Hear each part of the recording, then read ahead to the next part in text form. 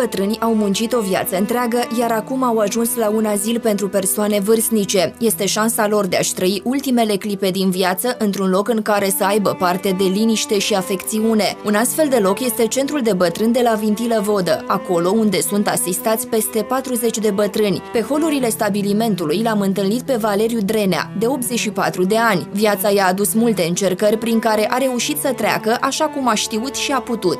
Cât aici, în clădirea aceasta, acum 84 de ani. La șase ani mama mea a murit și am rămas singur pe lume. Am învățat și la bătrânețe am fost căsătorit, ne-a murit și soția, în ciuda greutăților prin care a trecut, Valeriu Drenea a răzbit prin viață. A vrut să fie cel mai bun în tot ceea ce făcea, așa că învățătura era pe primul loc. După ce a terminat școala, a lucrat ca brigadier silvic în Vintilă Vodă, iar mai apoi a fost admis la facultate. Economist am fost, dar am, între... am început viața tot de aici, din Vintilă Vodă, fiind inițial brigadier silvic la un ocol silvic care era aici și este și acum în comună. Am învățat mai departe, mi-am făcut facultatea, am făcut și așa am ieșit la pensie economist.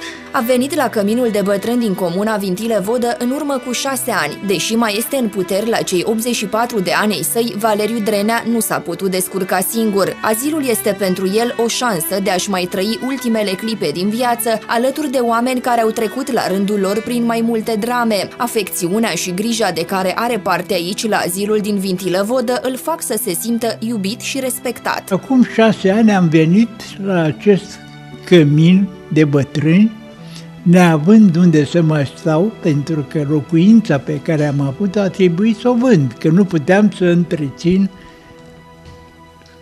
rămas singur.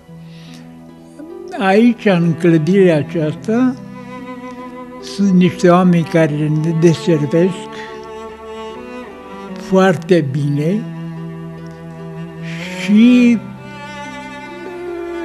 e singurul mod de a mai trăi în condiții omenești normale pe această lume. Umblând pe holurile azilului, ușa deschisă a unei camere ne-o arăta îngândurată pe un pat pe Maria Ciufu. Are 75 de ani, iar viața a fost extrem de dură cu ea. A avut doi copii, o fată și un băiat. Soarta a făcut să-și piardă fica ce avea 47 de ani în momentul în care s-a stins. A îmbătrânit cu inima frântă, iar în urmă cu patru ani a fost adusă la căminul de bătrân din Vintilă Vodă. A suferit mai multe accidente vasculare, ceea ce au pus-o în imposibilitatea de a se descurca de una singură. Aici, în azil, nu se mai simte singură, iar atenția de care are parte a reușit să-i mai aducă puțină lumină în viață. Cum vă simțiți?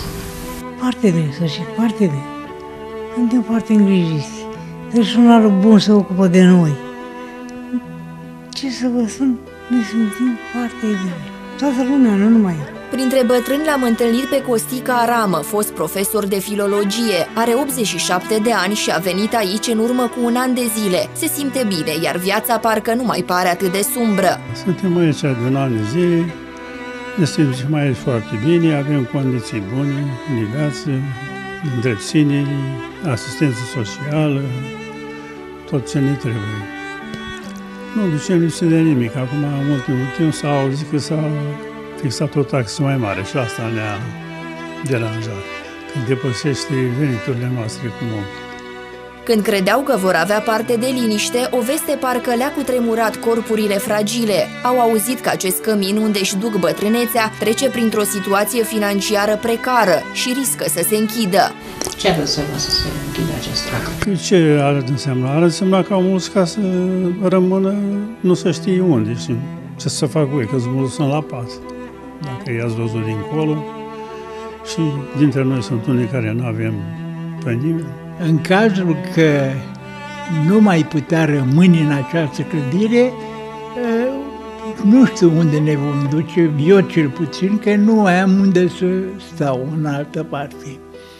Dar la 84 de ani mă zbat încă și cu pensia pe care am obținut-o după 48 de ani de muncă, muncesc de la 18 ani. Aveți unde să mergeți? Nu. Să știi că adevărat nu. N-am. Băiatul e plecat în străinătate. De fata mea a murit la 47 de ani și n-am unde să mă duc. Și eu trebuie, chiar dacă trebuie să mă îngrijesc singură, că nu pot să fac treaba. Abia merg, am grijă. Situația azilului înființat în 2011 după desființarea spitalului din localitate s-a agravat după ce Ministerul Muncii a închis programul prin care finanța astfel de instituții. Salvarea a venit de la Consiliul Județean, care la începutul anului 2016 a alocat 616.000 de lei, bani care au acoperit doar o parte din cheltuielile de funcționare. Instituția buzoiană a mai alocat suma de 150.000 de lei pentru salvarea centrului social pe la jumătatea acestui an. De atunci, Căminul nu a mai avut altă sursă de finanțare în afară de contribuția beneficiarilor de servicii. Din acest motiv, datoriile s-au tot adunat. O speranță vine din nou de la Consiliul Județean Buzău. Azilul ar urma de anul viitor să treacă în subordinea Direcției Generale de Asistență Socială și implicit în subordinea Consiliului Județean Buzău. Am luat deja legătura, cum vă spuneam, cu autoritățile locale din, din Chilăvodă.